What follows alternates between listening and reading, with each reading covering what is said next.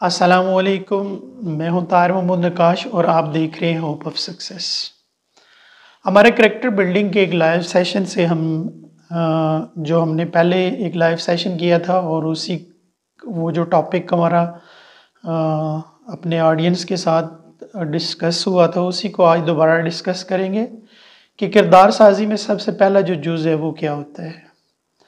और लफ्ज़ कैसे बनते हैं? फिर लफ्ज़ जो हैं, वो किस चीज़ को जन्म देते हैं और उसके बाद जो अगला स्टेप है, वो क्या है? तो देखते हैं और हम चलते हैं वीडियो की जाने। ये वीडियो आपके लिए बहुत ही मुफीद होगी आपके सोच को कंट्रोल करने के लिए थिंकिंग को कंट्रोल करने के लिए। सोच से लफ्ज़ बनते हैं और लफ्ज़ से अमल और अमल से किरदार बनता है। तो फिर किरदार साजी के लिए सबसे पहली चीज़ का समझना जो है, वो सोच है कि आया ये क्या है? सोच का तल्लक ख्याल से है। ये एक एहसास है जो किसी भी चीज़ के बारे में सुनकर या ऑब्ज़र्व कर कर। ऑब्ज़र्व करने के बाद हमारे दिमाग में आता है। ऑब्ज़र्वेशन के बाद हम उस पर सोचते हैं, उसको समझते हैं और उस चीज़ को हम महसूस करते हैं। हमारे उस करेक्टर बिल्डिंग के सेशन में हमारी इंसानी सोच पर बहस हो रही थी और हमने इस सेशन में सब लोगों को, तमाम जितने भी ऑडियंस थे, जितने भी हमारे लिसनर थे वहाँ पे, जितने भी पार्टिसिपेंट थे, उनको हमने अपने ख्याल का इजहार करने का मौका दिया। और हर किसी ने, हर किसी ने अपनी सोच, समझ और फरासत से अपने अपने पॉइंट डिस्कस किए थे। उन डिस्कस उन पॉइंट की तरफ़ जाते हैं कि दौरान सेशन जो पॉइंट हमने जेर बहस लाए गए थे वो क्या थे। शुरा में से एक ने बोला था कि हालात के साथ, हालात के साथ सोच का बदलना ज़रूरी है। जी बिल्कुल, क्यों ना कि सोच हालात बदलने में मदद देगी। फिर एक और सवाल हुआ था कि गुमान भी जो है वो क्या होता है? तो गमान तो गमान जितने भी होते हैं वो, यानी कि गालिब गमान जो होता है, जो गलत गमान होता है, वो गुनाह होता है। तो इस बार, ये, इस बारे में हम बात करते हैं कि बात अच्छे गमान की हो रही थी। यानी कि गमान का मतलब अंदाज़ा, ख्याल करना और ख्याल ही सोच है। मतलब ये हुआ कि अच्छा सोचना। जैसे कि अल्लाह ताला बेहतर कारसा है। मेरे साथ गलत नहीं हुआ। लेकिन इसमें अल्लाह की जो भी मेरे साथ हुआ है, इसमें अल्लाह की बेहतरी हुई है। लफ्ज़ गमान से गमान गालब है। जिसका मतलब जो है, ये कामल यकीन होता है। और अगर हम गलत गुमान करें कि ये बात हमारे साथ ही क्यों हुई है, मैं ही क्यों फेल हुआ हूँ? मेरे ही साथ हर बार ऐसा क्यों होता है? ये जो बीमारी है, आपने भी सोसाइटी में कभी अक्सर अवकात दोस्तों से सुना होगा, मरीज़ों से सुना होगा नहीं जी, ये सारी बीमारियाँ रब ताला ने मेरे लिए ही रखी हैं। तो ऐसा गमान करना जो है, ये दुरुस्त नहीं होगा, ये इस्लामी नुक़ नज़र से भी गलत है। अब हम बात करते हैं कि जो गालिब गमा है, गालिब गमा की जो पहली सीढ़ी है, वो पुख्ता यकीन है। पुख्ता यकीन क्या है? कि अब एक मुसलमान होने के नाते से हमारा पुख्ता यकीन है कि अल्लाह की ज़ात वाहिद है, जिसका तल्लक सोच से है। अगर हम किसी घड़ी को देखते हैं तो घड़ी को देखते हुए हमारे जहन में ये ख्याल पैदा होता है कि इस घड़ी को बनाने वाला कोई घड़ी साज होगा। किसी गाड़ी को देखते हैं तो हमारे जहन में ये बात आती है कि इस गाड़ी को बनाने वाला कोई मैकेनिक है। किसी मोबाइल फ़ोन को देखते हैं तो हमारे जहन में ये बात आती है कि इस मोबाइल फ़ोन को किसी ने बनाया है कोई मकैनिक होगा, कोई टेक्नोलॉजी का एक्सपर्ट होगा आईटी का एक्सपर्ट होगा, जिसने ये बनाया है।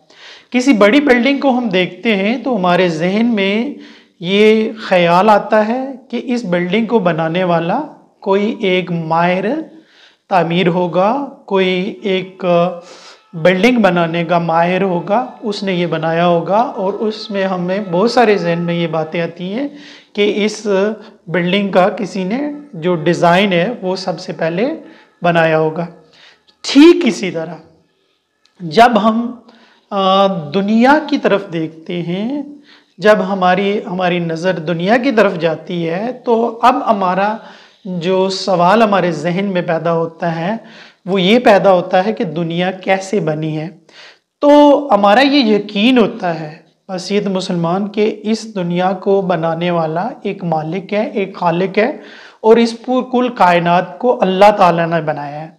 फिर अगर हम ये सोचें कि दुनिया का निज़ाम अच्छे तरीके से चल रहा है, और हर काम जो है वो अपने वक्त पर के ही सदियों से के ही सालों से चला आ रहा है तो पहले पहला ख्याल ही यही आएगा कि ये सारा निज़ाम कायनात चलाने वाली कोई ज़ात है और वो यकीनन अकेली और यकता है।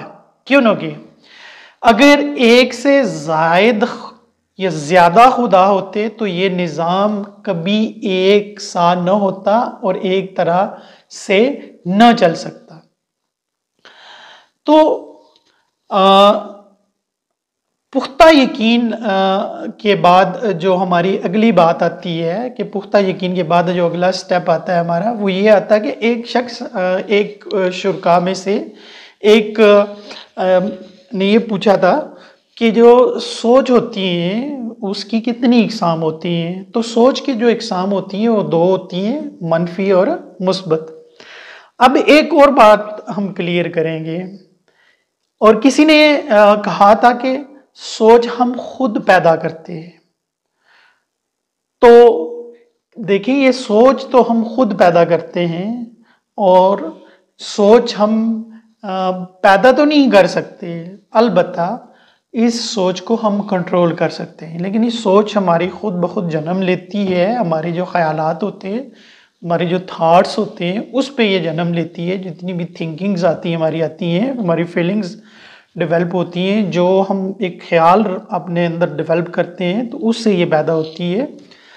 आ, मिसाल देता हूँ कि आप आ, अगर पार्क में बच्चे जा रहे हैं तो अब पार्क जाने से पहले ही उनके दिमाग में बच्चे जब पार्क में जा रहे हैं तो पार्क में जाने से पहले ही उनके दिमाग में पार्क को लेकर के ही तरह की सोचें पैदा हो जाती हैं। अब एक बच्चा झूला झूलना पसंद करता है। तो वो इसी के बारे में सोचेगा। अगर कोई दूसरा उससे कुछ और कहेगा तो बाकी बाकी वो जितने भी ख्याल होंगे, उनको वो रद्द करके सिर्फ़ झूले के बारे में सोचेगा। यानी कि कहेगा, नहीं भाई झूला नहीं होगा पार्क में। पार्क में कोई एनिमल्स को पसंद करता है तो वो ये नहीं यार, एनिमल्स होंगे, मंकी होगा वहाँ पे। पीकॉक्स होंगे। तो वो बच्चा चूँकि झूला झूलने वाला है तो उसके सोच में ये बात नहीं आएगी वो झूले को ही अपने जहन में रखेगा। कोई दूसरा बच्चा है जो नेचरलिस्ट है जो ये कहेगा नहीं जी फूल हैं। तो जो बच्चा झूले को पसंद करता है वो उसके ख्याल को रिजेक्ट कर देगा चूँकि वो झूले को ही पसंद करता है। काबिल गौर बात ये है कि इस आ, ने बाकी तमाम जो ख्यालात थे उनको क्यों रद्द किया? इसका मतलब ये हुआ कि उसने अपनी सोच को कंट्रोल किया।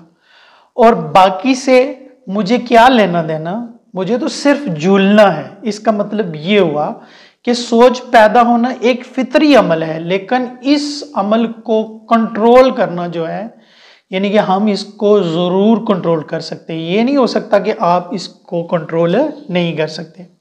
शुरा में से एक ने कहा कि मैंने मनफी नुकता नज़र को निकाल दिया है। यानी कि उसने कहा कि आपके इन जो हमने सेशंस सुने, आपके जो करेक्टर बिल्डिंग्स की ये ट्रेनिंग थी, इसमें मैंने जितने भी मनफी नुकता नज़र था, उसको निकाल दिया। लेकिन मैं ये कहना चाहूँगा कि जब तक हम मनफी और मुस्बत दानों को नहीं देख लेंगे, तब तक हम किसी के फ़ायदे, किसी भी चीज़ का फ़ायदे और नुकसान के बारे में नहीं जान सकेंगे।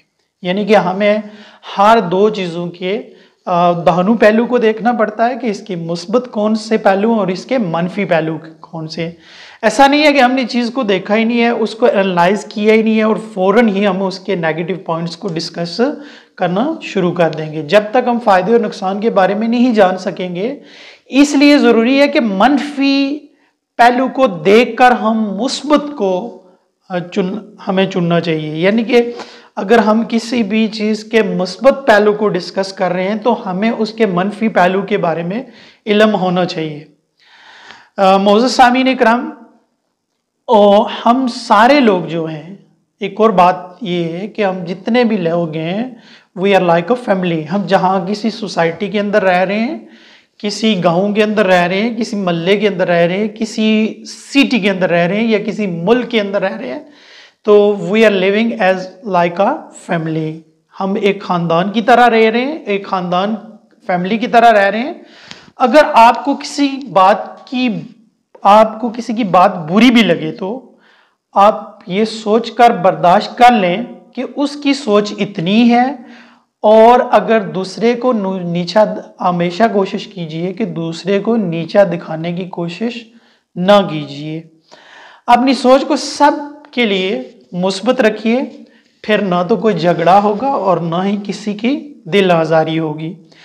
आप यकीन देख आप कर लें, और माहरीन में से बेशुमार माहरीन का ये कॉल है कि इंसान पे, जिसम पे लगे हुए जो ज़ख़म होते हैं, वो तो मुंजमद हो सक, जाते हैं, जो वॉन्ड्स होते हैं they can heal up with the passage of time लेकिन जो इंसान अपनी बातों से दूसरे इंसान को तकलीफ़ देता है, ज़ख़म देता है, वो वाउंड्स जो होते हैं, वो कभी भी मुंजमद नहीं होते। इसलिए आपको चाहिए कि आप अपनी गुफ्तगु से, अपनी सोच से, अपने दूसरे दोस्तों को सोसाइटी के अंदर महफूज रखें। हमें कामल यकीन है, हमेशा की तरह आपको हमारा ये पैगाम बहुत अच्छा लगा होगा। और आप अपनी सोच को कंट्रोल करने के लिए, करने की कोशिश करेंगे। जब तक हम आपके लिए कोई नया मौजू चुनते, आपके लिए कोई नया मौजू लाते, तब तक आप हमें इजाज़त दीजिए। अल्लाह आपका हामी और नासर हो। वसलम